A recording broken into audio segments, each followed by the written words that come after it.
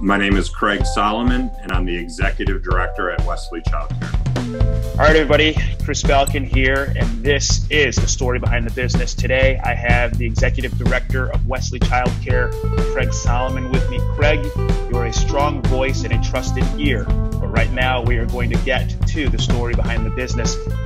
Why did you get into, and how did you get into kind of being an executive director of a facility like Wesley Childcare?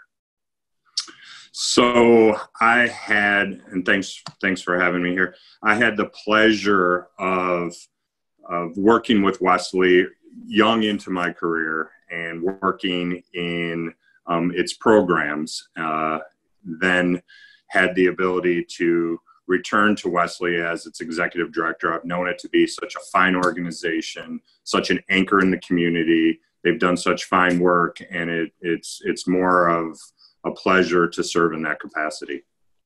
You know, I, I know that, I mean, you have had a wealth of experience um, and, and a lot of that with Chicago public schools. Um, I mean, was your career path, was it full of detours? Like it, it seems like somehow you kind of funneled into advocating and utilizing all of these skills that you have in a way that benefits children you know did, did you kind of bounce around to, to get to that point or was it a straight shot towards advocating and caring for so many lives and these are important lives this is our future? So like i mentioned i, I started my career um, in, in working part-time and working full-time at wesley many years ago. Um, since then uh, since that time i had the ability to to do a lot in and around education, education sector, um, nonprofits. Um, I, I taught um, in, in a school system.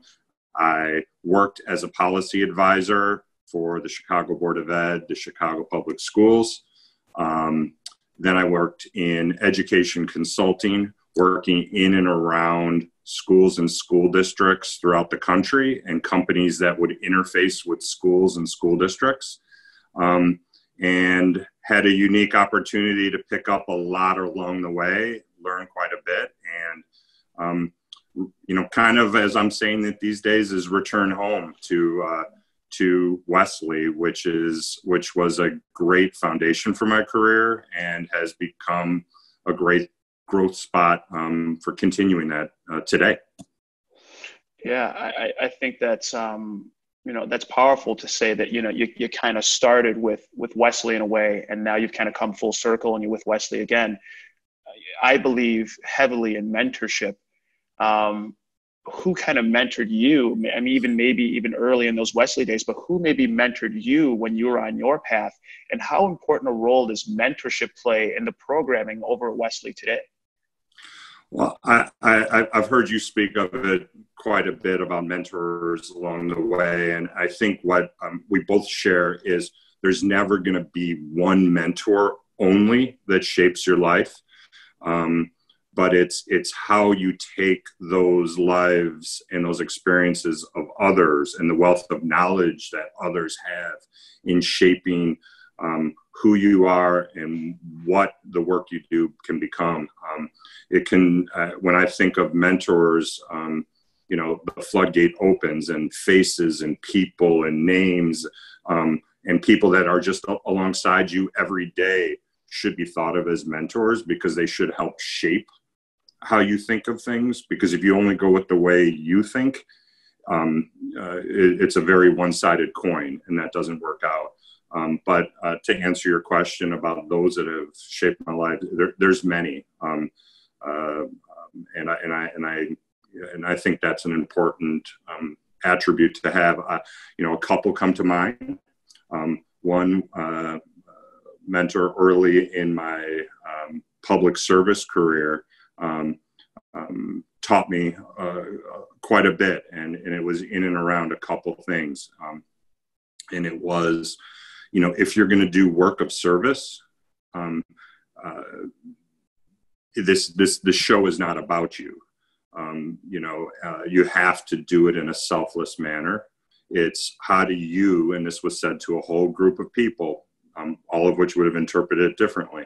But how would you like to spend your your 60 hours a week um, working in a job where you will absolutely gain no credit for the work that you do, but you will get to see all the benefit of, the, of that work. And um, it was really a good tone to set um, for public service. I think it's a good tone to set into other private and public and for profit areas too. But if not always feeling that the work you do should always come with kudos, but you can reap the benefits of, of, of you know, the implementation. So, well, um. No, I mean, I mean, very powerful stuff and, and couldn't be more true. I think anybody that knows you knows that you always give all of your time, talent, and passion to whatever it is that you do. Um, and, and whether or not you, you get credit for that all the time, who knows, right? But I know that your effort and your time and your passion is felt in the community. So I want to thank you for that. But I wonder if you could give a bit of advice to someone who wanted to have an impact in the world, whether it was through entrepreneurship or through service, what bit of advice might you give someone who was just kind of starting out but had all the right ambitions but has no idea which direction to go? Yeah i, I think you know it, know what you don't know is is is a is a is a big That's one. a good one. That's but, a good one. um you know you you can't gain all that knowledge in one day you can't go from a starting position to the ceo in a day and nor should you want to. Um, um, but what you can do you know sometimes you can't out know something that other people do but you can you can outwork people. Um, that's all in your own that that ball's in your court. Um, i've always talked about the attribute of work ethic. Um, i think that is something that's in you and you either have to go searching for it and bring it out um, but if you don't have that work ethic um, you can get past and, um, you know, uh, there's a lot of people that get lucky, but strong work ethic, um, I think, will always, in my mind, prevail. I, I, I couldn't agree with you more. I, I think that these days, with all of the challenges that we have, considering you know the COVID nineteen pandemic, um, this is certainly a time where having a strong work ethic, resilience, all that stuff is really going to help. But uh, how do you see, um, you know, the world of education, childcare, service? What are you guys, and let's even really be specific to Wesley, what are you guys going to need to do to adapt moving forward based on us experiencing and seeing something that, quite frankly, none of us ever thought would happen? How are you guys going to adapt moving forward? And what's the, what do you think the world's going to look like tomorrow? I, I, think it goes back to those two attributes. I think it's knowing at this point, knowing what we don't know.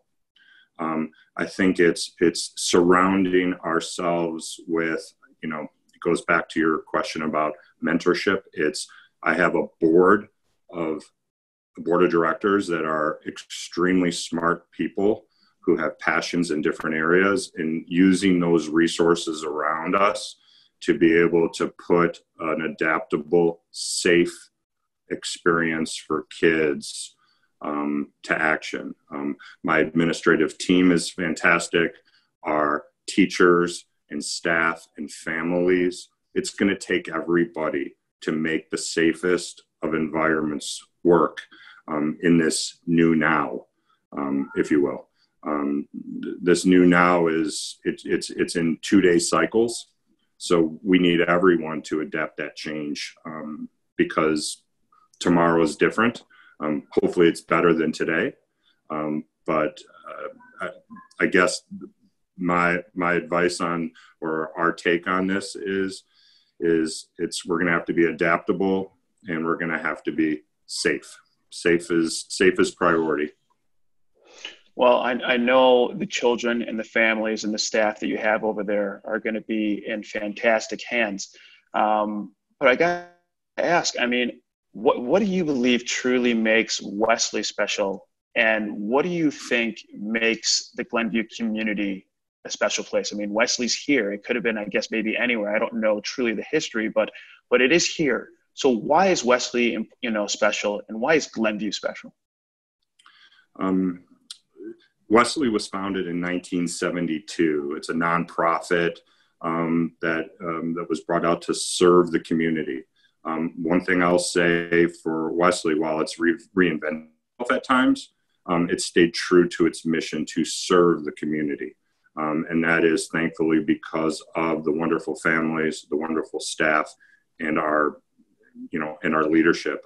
Now, Glenview on the other uh, on the other uh, side of the coin is interwoven into everything we do. So Glenview and this community is is Wesley. Um, and Wesley is this community. Um, it was founded by community members, and it's it's maintained by community as well.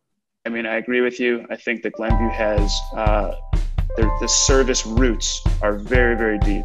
So Wesley's in the right place, and you are in the right place. So I want to thank you so much for the work that you do over there. Um, tireless, just incredible work a lot of times thankless work, but I want I really do want to thank you for that. And thank you for sharing the story behind the business. Thanks, Chris.